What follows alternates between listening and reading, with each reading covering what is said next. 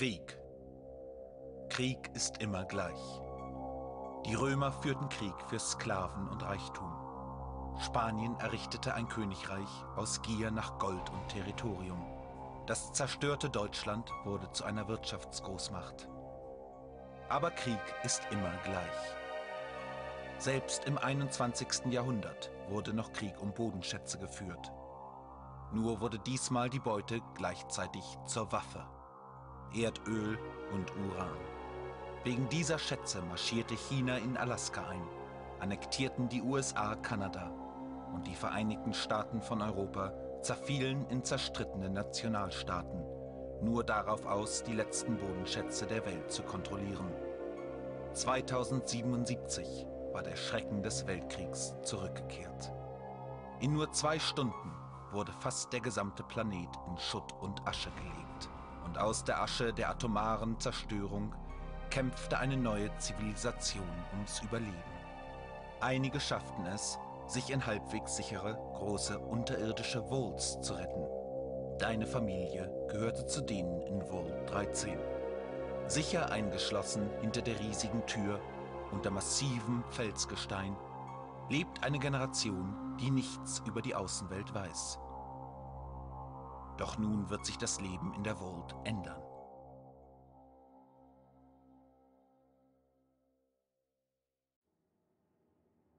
Ja, Momo Leute, euer Zero hier und herzlich willkommen zu einem neuen Projekt. Und zwar spielen wir Fallout, wie die letzten beiden Jahre auch schon, aber diesmal werden wir den Teil 1 spielen, wie versprochen, ihr habt es euch gewünscht. Und somit soll es auch geschehen. Ich habe leider viel zu spät gemerkt, dass es keine 16 zu 9 Auflösung gibt. Äh, deswegen habe ich einmal ganz, ganz fix dieses Design links erstellt. Es ist quasi noch nicht final. Äh, ich habe auch extra einen Platz für eine Facecam eingerichtet. Das ist da, wo jetzt äh, das Walltech-Symbol ist. Da könnte zum Beispiel eine Webcam auch reinpassen. Allerdings habe ich die derzeit verdeckt, weil ich nicht weiß, ob ihr das möchtet. Und äh, schreibt es einfach in die Kommentare. Ja, wir spielen Fallout 1. Äh, wir starten mal in ein neues Spiel. Und äh, es ist tatsächlich etwas anders als Fallout 3 und Fallout New Vegas, was ihr bereits auf meinem Kanal kennt. Denn dieses Spiel ist, ich würde mal sagen, alt. Es ist gut gereift. Äh, wir dürfen uns hier eine Spielfigur aussuchen, wir machen sie nicht selber. Äh, wir können sie auch anpassen, aber wir können halt die Gesichter und so weiter nicht ändern. Hier haben wir zum Beispiel Natalia, ist die Enkelin eines russischen Diplomaten der im Sowjet sowjetischen Konsulat in Los Angeles beschäftigt war. Vor allem Los Angeles. Sie ist eine wahre Akrobatin und verfügt über ausgezeichnete Koordination und Reflexe. Sie ist extrem intelligent und ideenreich. Nur fiel es ihr schon als Kind schwer zu verstehen, was mit äh, persönlichem Eigentum gemeint ist. Natalia will die Vault unbedingt verlassen und die Außenwelt erkunden. Passt schon eigentlich recht gut zu mir, ne? Würde ich mal glatt äh, sagen. Also sie hat, äh, was ist leidlich? was ist das hier für ein Wort? Ich habe keine Ahnung. Auf jeden Fall hat sie äh, Stärke 4, Wahrnehmung 5, Ausdauer 6, Charisma 7, Intelligenz 7, Beweglichkeit 10 und Glück 6. Übrigens, wenn man in diesem Spiel die Intelligenz unter 5 schraubt, dann kann man nur noch Grunzlaute machen. Deswegen werden wir da auch direkt aufpassen. Ähm, wir werden mal diesen schicken Typen nehmen. Und erstellen erstmal eine Figur. Äh, ich würde tatsächlich gerne ein bisschen äh, auf äh, hartnäckige Stärke gehen, weil, naja, in Fallout 3 und Fallout New Vegas hat sich das bezahlt gemacht, von Anfang an auf Stärke zu gehen. Ähm, ich weiß nicht, wozu brauchen wir Wahrnehmung? Ach, da steht ja unten rechts sogar. Ähm, äh, rohe körperliche Gewalt. Große Stärke ist für Körperbetonte Figuren wichtig. Beeinflusst Trefferpunkte, Schaden im Nahkampf und Tragekapazität. Wahrnehmung. Fähigkeit, ungewöhnliche Dinge zu sehen, zu hören, zu schmecken und wahrzunehmen. Eine gute Wahrnehmung ist zum Beispiel für Scharfschützen wichtig, beeinflusst Reaktions- und Distanzkampffaktoren. Ausdauer, Kondition und Belastbarkeit. Eine Figur mit hoher Ausdauer überlebt, wo andere längst sterben. Beeinflusst Trefferpunkte, Resistenz gegen Gift und Strahlung, Heilung, Zusatz, Zusatztrefferpunkte pro Level. Okay, das ist jetzt nicht so wichtig, wie ich finde. Wahrnehmung kann man machen. Charisma, Kombination aus außerer, was? Ich glaube, das. Achso, das ist ein A-Umlaut. Das sehe ich von hier aus gar nicht. Kombination aus äußerer Erscheinung und Charme. Aus, ein ausgeprägtes Charisma ist für Figuren wichtig, die Menschen mit Worten beeinflussen wollen. Beeinflusst Reaktionen von inaktiven Figuren und Presse und Preise beim Handeln. Ach du Scheiße. Gott, diese Schrift. Äh, inaktiven? Was heißt inaktiven Personen? Sind es NPCs? Naja, Intelligenz, Wissen, Weisheit und schnelles Denkvermögen. Eine hohe Intelligenz ist für jede Figur wichtig, beeinflusst Anzahl der neuen Fähigkeitspunkte pro Level, Dialogoptionen und viele Fähigkeiten. Okay. Aber wir können gar nicht noch höher gehen. Gut, wir gehen hier auf 7. Ähm, Beweglichkeit, Koordination und geschickte Bewegung. Eine hohe Beweglichkeit ist für jede aktive Figur wichtig, beeinflusst Aktionspunkte, Rüstung, äh, Reaktion und viele Fähigkeiten. Ach du Scheiße. ist auch verdammt wichtig, ne? Weil man muss dazu sagen, in Fallout 1 bewegen wir uns ständig im Watts-Modus beim Kampf. Das heißt, Aktionspunkte sind da schon ein bisschen wichtiger. Und Glück. Schicksal oder Karma. Ein extrem hoher oder niedriger Glückswert wirkt sich auf irgendeine Art auf die Figur aus. Ereignisse und Situationen ändern sich in Abhängigkeit davon, wie viel oder wie wenig Glück eine Figur hat.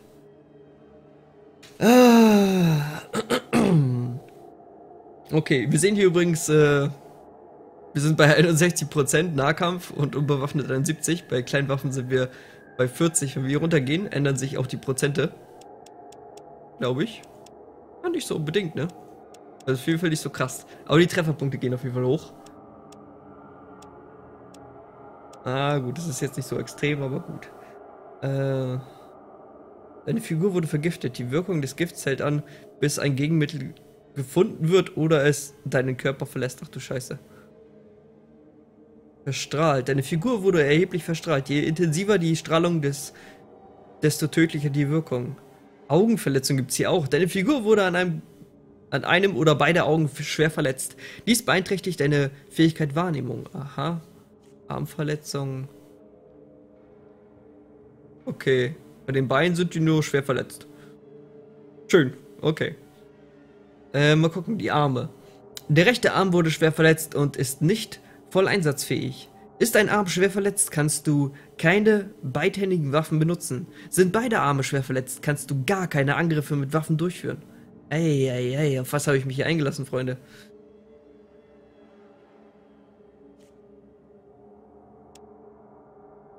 Wir behalten das mal auf gut. Das geht auf toll. Ich würde gerne ein, einen Glück machen und einen Wahrnehmung. So, das wird unsere Figur sein. Was ist das hier? Du hast bereits... Ach, Zusatzmerkmale. Okay, ich hätte auch mal lesen sollen. Ah, oh, okay. Dann sind wir Schläger auf jeden Fall. Gehen hier mal einen runter. Oder zwei. Lassen wir es bei acht. Ah, bei sieben. ich weiß, ich weiß. So. Äh, beeinflusst irgendwas hier Waffen?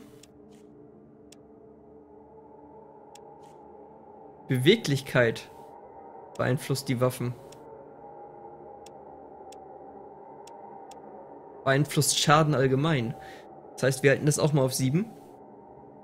Mal sehen, treffsicher. Ähm, umgänglich. Oh Gott, wir müssen uns hier erstmal ein bisschen reinwuseln, Freunde. Es tut mir leid, dass wir quasi einen sehr langsamen Start haben, aber ich muss das hier von Anfang an richtig machen. So, wir gehen auf jeden Fall auf äh, kleine Waffen. Wir gehen auf jeden Fall auf äh, Nahkampfwaffen. Und eine haben wir noch. Was ist Spielen? Das Know-how und die praktischen Kenntnisse des Glücksspiels. Kartenspielen, Würfeln und andere Glücksspiele. Nee, so einen Scheiß brauchen wir nicht. Naturbusche. Praktische, praktisches Wissen über die Natur und die Fähigkeiten sind von den Gaben der Natur zu ernähren. Das Wissen über Pflanzen und Tiere. Ah, okay. Schleichen, Arzt, Erste Hilfe. Was brauchen wir denn unbedingt noch? Energiewaffen. das gibt mir nur einen kleinen Boni, ne? Ah, kleiner Boni ist gut, ey. Na gut, äh, was haben wir hier noch? Ähm, Zusatzmerkmale wilder Kämpfer. Die Ironie des Schicksals will es, dass Menschen um dich herum gewaltsam sterben und du immer Zeuge eines besonders grausamen Tod wirst. Okay, verhext. Das Gute ist, dass alle um dich herum im Kampf böse Fehler machen. Das Schlechte ist, dass auch dir das passiert. Okay. Umgänglich. Ja, nee, so einen Scheiß brauchen wir nicht. Anfällig. Du wirst leichter von den Pro äh, nee, Präparaten, die du einnimmst, abhängig. Die Wahrscheinlichkeit, dass du abhängig wirst, ist doppelt so hoch wie normal. Dafür hältst du aber auch schneller von den... Ah. Okay. Stabil. Die Präparate, die du einnimmst, wirken auf dich nur halb so lange wie normal. Und die Wahrscheinlichkeit, dass du abhängig wirst, ist ebenfalls nur halb so hoch. Okay, da haben wir Nachtmensch. Da haben wir versiert. Du hast viel Zeit in die Ausbildung deiner Fähigkeiten gesteckt, sodass du mit härteren Anfangswerten beginnst. Dafür hältst du weniger zusätzliche Fähigkeiten und nur alle vier Level einen Bonus. Kannst vergessen. Begabt. Du verfügst über mehr angeborene Fähigkeiten als andere. Daher sind all deine Anfangswerte um einen Punkt höher. Aha. Cool. Ähm, äh, aber du verlierst am Anfang bei allen Fähigkeiten 10% und erhältst pro Level 5 Fähigkeitspunkte weniger. Das ist sehr schwul.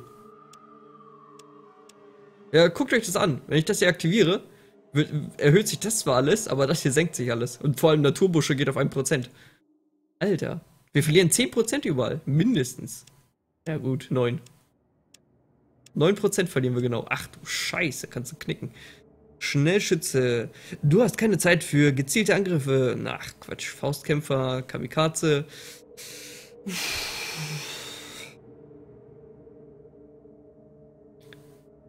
Äh, treffsicher. Bei deinen Angriffen bist du sehr treffsicher. Du verursachst zwar nicht so viel Schaden, dafür landest du aber mehr kritische Treffer. Einhändig. Kleiner Körperbau. Du bist zwar nicht so groß wie andere Vault-Bewohner, aber das war noch nie ein Hindernis für dich. Du kannst nicht so viel tragen, dafür bist du aber beweglicher. Aha. Es gibt uns die Beweglichkeit, die wir uns wünschen, ne?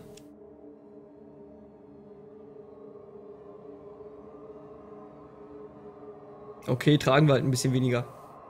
Schneller Stoffwechsel. Dein Stoffwechsel ist zweimal so schnell wie normal. Du bist daher gegen Strahlung, Gift weniger Resistenz. Dafür heilt dein Körper aber auch schneller. Okay, was kriegen wir dafür? Was? Achso, wir dürfen nur zwei? Okay, dann haben wir uns entschieden. Vor allem der Schläger hier finde ich cool. Gut, ähm, wir haben Rüstung 8, Aktionspunkte 7, was sehr wenig ist, äh, glaube ich. Tragekapazität 150. Ach du Scheiße, wir verlieren 50, ne? Für ein so ein scheiß mickriges Viech. Naja, gut. Äh, Schaden, Nahkampf ist 2. Okay. Heilung 1, kritische Treffer 6%. Okay, wir, wir drücken einfach mal auf. Okay, was ist, was ist damit? Achso, okay, ist okay. Wir nehmen den Dude und gehen mal ins Spiel. Wir haben jetzt schon so viel Zeit verschwendet, ey. Ah, du bist da. Gut. Wir haben ein Problem. Ein großes. Der Steuerchip unserer Trinkwasseranlage hat den Geist aufgegeben. Wir können ihn nicht reparieren und die Anlage lässt sich nicht durch Notsysteme steuern. Kurz gesagt, wir haben bald kein Trinkwasser mehr. Kein Wasser, keine Wort. Er ist lebenswichtig für uns. Offen gesagt, ich... Ich glaube, du bist unsere letzte Chance. Besorg uns einen neuen Steuerchip. Wir schätzen, wir haben für vier bis fünf Monate Wasser in der Vault. Bring uns den Chip. Auf deiner Karte siehst du eine zweite Vault. Geh am besten erstmal dorthin. Hey, pass gut auf. Okay? Okay, wir haben 150 Tage Zeit, Wasser zu besorgen. ähm, ich wusste, dass es da ein Handicap gibt. Ich hatte es Erinnerung, aber ich dachte, es würde eine Bombe explodieren. Man muss dazu sagen, als ich das erste Mal Fallout 1 gespielt habe, ich glaube das war 1, kann auch 2 gewesen sein, äh, auf jeden Fall gab es da irgendwie so einen Timer und ich dachte, es explodiert halt irgendwas. Kann sein, dass ich den ersten Teil gespielt habe, kann aber auch sein, dass ich den zweiten gespielt habe. Das ist ewig her, Freunde, ich weiß es nicht mehr. Und somit verlassen wir die Vault nach circa 16 Minuten. Dann wird es doch gar nicht mal so ein entspanntes Spiel, wie ich dachte. Wenn es zeitabhängig ist, ne? Mal schauen. Hat das einer von euch schon gespielt? Durchgespielt? Kann man, nachdem man den Wasserchip besorgt hat, zurück und weiterspielen? Um den Rest zu erkunden? Okay, ich, ich habe keine Ahnung von der Steuerung. Wir spielen hier mit Maus und wahrscheinlich Tastatur, ich weiß es nicht. Ach. Warte, warte, da war doch was. Oh. Munition. Und ein Messer. Jetzt haben wir zwei. Coole Nummer. Äh, okay, wir können mit der Tastatur auf jeden Fall ein paar Sachen auswählen. Objekt 1, Objekt 2. Haben wir jetzt zwei Messer in der Hand? Okay. Schaden 1 bis 4, unbewaffnet. Ist das meine rechte und das meine linke? Ich weiß es nicht. okay. Okay, auf jeden Fall ist da eine Ratte. Äh, und... Ja, mal gucken, was uns hier erwartet. Ich, ich habe überhaupt keine Ahnung mehr von diesem Spiel. Auf jeden Fall sehen wir schon, es ist ein bisschen älter.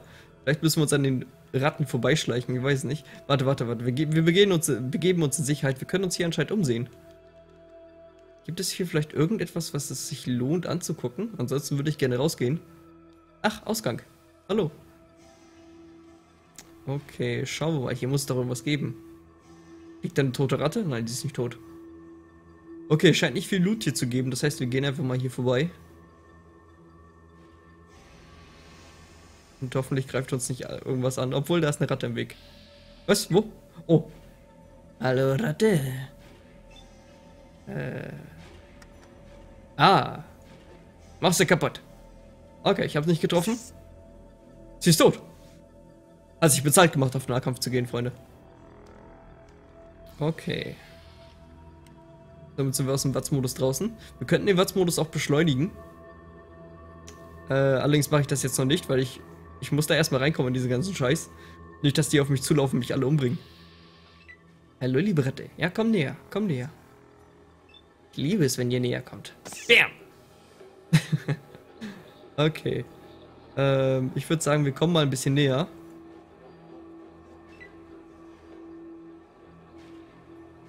Perfekt, sie konnte mich nicht angreifen. Bam! Äh. Bam! Sehr schön. Eigentlich könnte ich hier rumlaufen und die anderen Ratten auch noch töten, ne? Ich meine, gibt bestimmt gute Erfahrung, obwohl hier sind viele. Huch! Wo kommt sie denn her? Ich weiß es nicht. Na los, Ratti, komm her. Ich weiß, dass du da bist. Vor mir kannst du dich nicht verstecken. So, wir haben übrigens 8 Rüstung und TP 32. Ich glaube, 32 TP ist schon sehr gut. Ey, wieso hast du das überlebt? Ah, okay. Können. Okay, Schleich. Achso, ich kann. Oh. Arzt. Im Kampf nicht möglich. Okay, ich kann mich selbst verarzten, reparieren. Falle. Kann eine Falle legen. Okay. Äh, da muss man erstmal mit drauf klarkommen. Was ist das? Ich habe meine Waffe weggelegt. Okay. Wir können unsere Waffe weglegen. Okay, was ist das? Das ist die Karte, okay. Äh, das ist der Kram, den wir ausgesucht haben. Keine Fähigkeitspunkte. Achso, das sind Fähigkeitspunkte, okay. Ich verstehe. Karma. Allgemein. Opfer. Drei Ratten. Ha, ich bin schon der übelste Killer.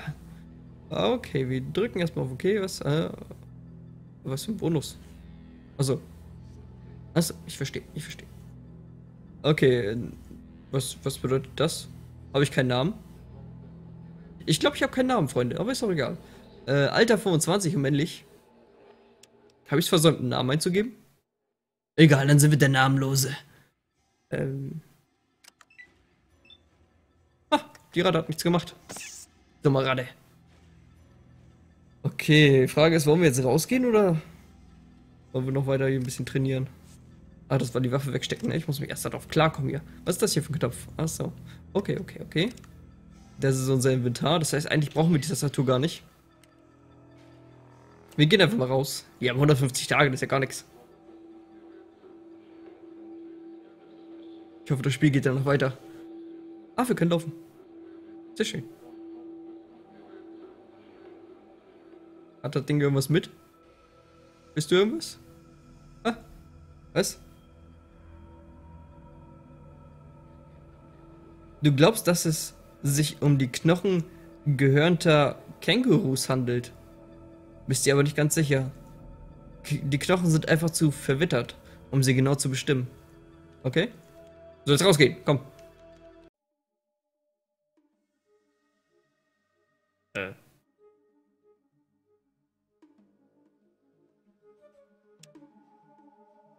Okay.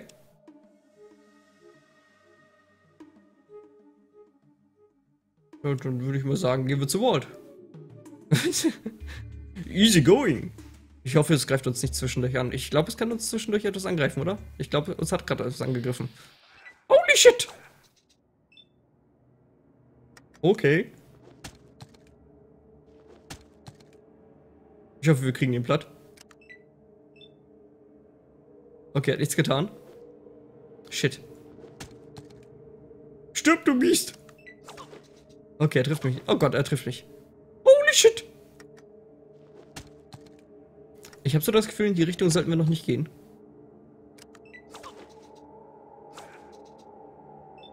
Alter, wenn ich gleich sterbe, ne? Dann drehe ich durch. Okay, nicht getroffen, nicht getroffen. Huh. Ach du Scheiße. Wenn ich nur wüsste, wie viel Leben das Viech hat.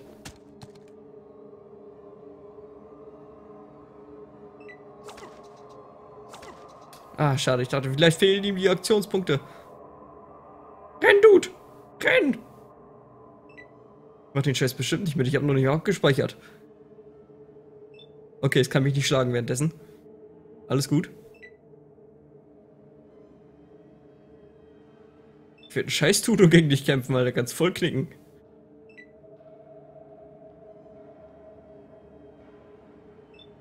Tschüss.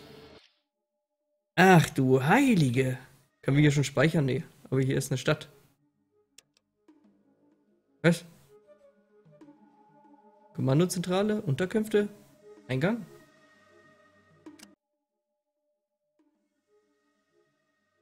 Fuck, mich gerade schon wieder etwas an. Was? Wer bist du denn? Hi, tot. Seid gegrüßt, Reisender. Was schlägt dich hierher? Ich wandere nur so herum.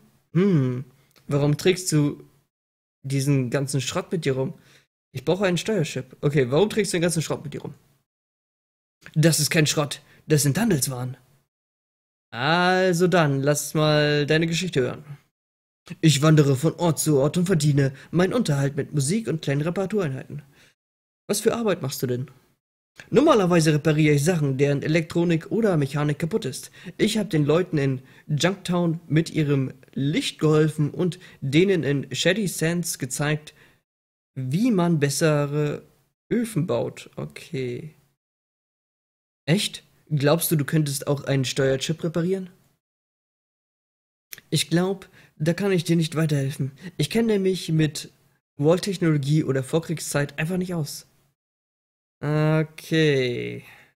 Tschüss. Kann ich mit dir handeln? Ich brauche eine Wegbeschreibung. Äh, Shady Sense. Äh, ist eine kleine Autor, bla bla, die von, okay, hast du nicht gesehen, fick dich, äh, hm. Sie haben vermutlich, ja, überleben hier, okay. Wegbeschreibung, du Arsch! Ah. Unfähig. Okay, haben wir ab. Was soll denn das? Du siehst Ausgang, ja, ist klar. Ach, cool. Oh. Zur Not laufen wir raus. Ah, okay, er hätte uns tatsächlich die anderen Orte noch zeigen können. Eingang.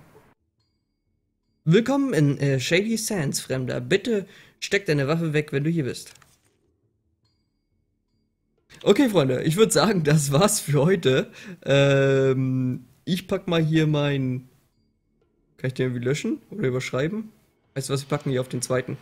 Äh, das war mein, übrigens mein Testspeicherstand. Äh, let's play. Ja, das war's für heute, Freunde. Ähm, ich bin gespannt, was ihr zu diesem Spiel sagt. Ich bin noch ein bisschen verwirrt, was das Ganze angeht. Äh, wir sehen uns morgen wieder und vielleicht dann nicht mehr ganz so verwirrt. Haut rein, euer Zero. Tschüss.